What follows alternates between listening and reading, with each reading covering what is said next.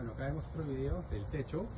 El techo tiene dos partes, la parte delantera en donde se puede apreciar que tiene un ángulo aproximadamente de 10 grados este, y justo en donde empieza el mirror, empieza la parte flat del techo que va hasta, hasta la parte final, ¿no? Este, eso.